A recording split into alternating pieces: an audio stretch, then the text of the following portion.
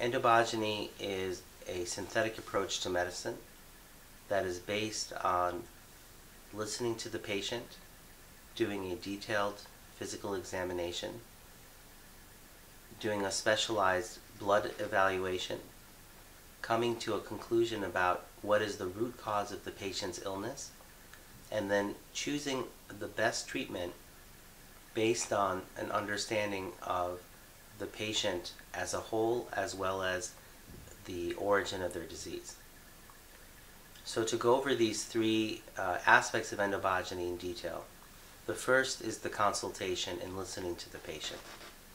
Endobiogeny uh, is a form of modern medicine which is based on understanding physiology, the way that modern science has described the functioning of the hormones, of the endocrine system, of the nervous system, of the digestive tract, etc.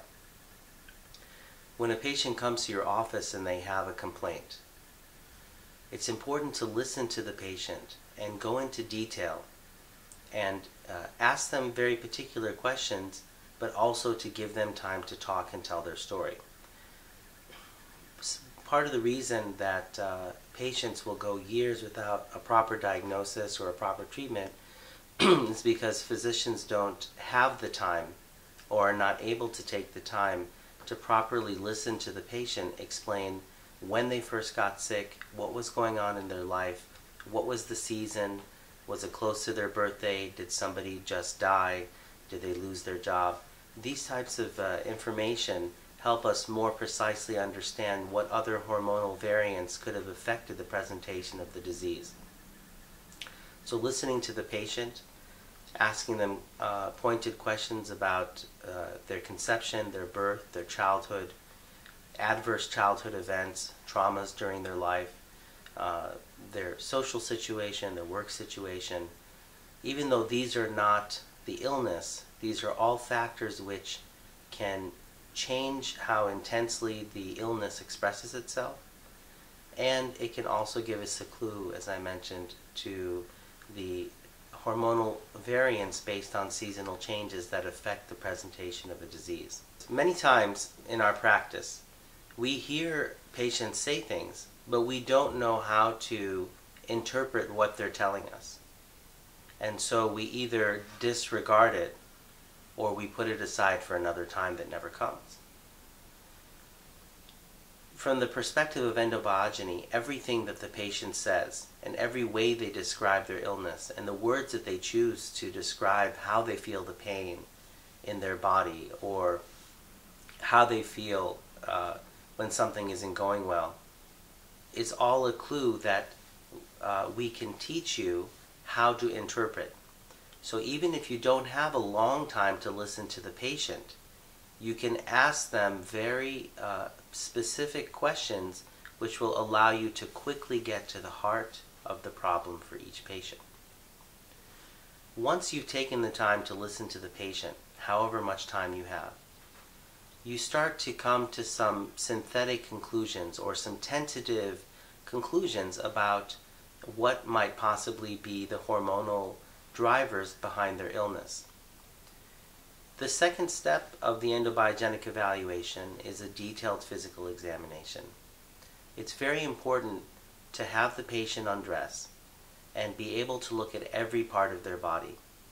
The length of the eyelashes, how thick the eyebrows are, the size and shape of the lips, how the tongue looks, uh, the quality of the nails, how the abdomen feels when you palpate it and you press deeply over the pancreas or the liver, if the feet hang out or hang in when the person lays down, uh, their deep tendon reflexes, their pulse, if their hands are warm or cold, all of these things are clues to how the neuroendocrine system is managing or has managed the development of the outer part of the body.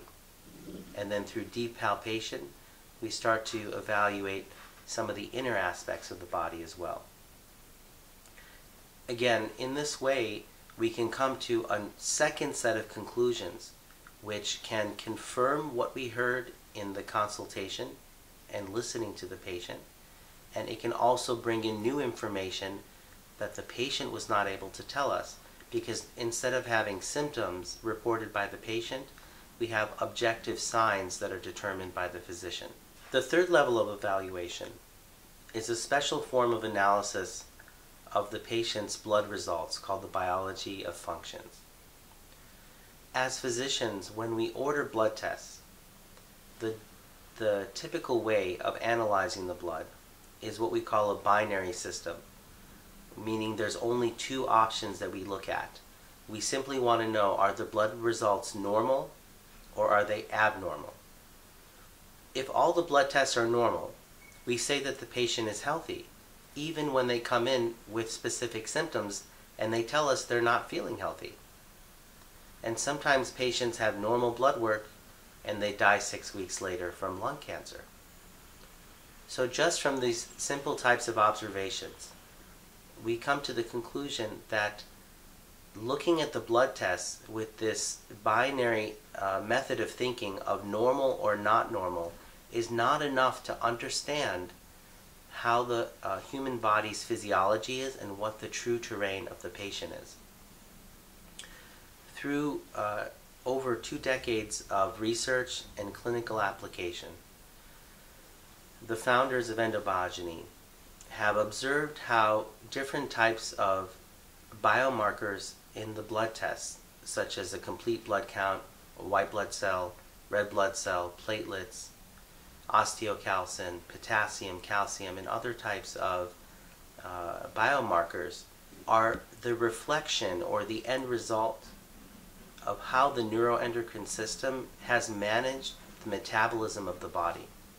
So, in other words, the way that we normally look at blood tests is a quantitative analysis.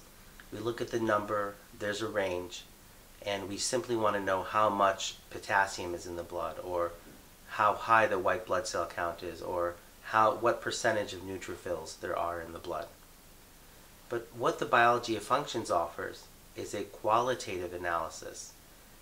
So we have blood tests, and through our research and the research of thousands of researchers over the last 100 years, we've been able to link the rise and fall of certain levels of biomarkers in the blood to specific hormonal activity. When you take the, the biomarkers and you understand that they reflect this type of activity from the hormones, then you can indirectly look at the way in which hormones manage every aspect of metabolism and every aspect of a disease. So the biology of functions is a qualitative way of analyzing the, the blood. And how this is done is that one blood result is divided by another or multiplied by another. So what we're looking at is, for example, the effects of testosterone relative to estrogen. For example, I was reading recently in an article a discussion about uh, the importance of testosterone as men age. And the article mentioned the uh, normal levels of testosterone in the blood. But testosterone as a hormone doesn't work by itself. The effects of testosterone need enough estrogen because estrogen initiates metabolism and testosterone ends the metabolism of proteins. So if you have normal testosterone but you don't have enough estrogen, the testosterone is not going to function well. Testosterone needs proper thyroid function. So if you have normal testosterone but you don't have enough thyroid activity on the cell, your testosterone still is not going to work well. So in this way, rather than measuring the blood levels of hormones, we look at their effects and we see what have they already done to metabolism. And in this way, we can create a qualitative sense of how many hormones as an ensemble have together affected the health of the human body. So we have three levels of analysis, just to summarize. We have the consultation where we listen to the patient. We have the detailed physical examination where we gain objective evaluations of how the neuroendocrine system has managed the person's body and their disease. And then we have the biology of functions, which is the qualitative way of analyzing the blood results in order to gain a deeper level of information about how the body is functioning that we could not derive from just the history or just the examination alone. So, in this way, we have three different levels of information, and where they overlap and confirm each other, we come to the firmest and most rational conclusions about what the uh, likely origin of the patient's illness is from the perspective of the neuroendocrine system. With these tools, the endobiogenic physician can come to a rational clinical therapeutic decision on precisely which treatments to use.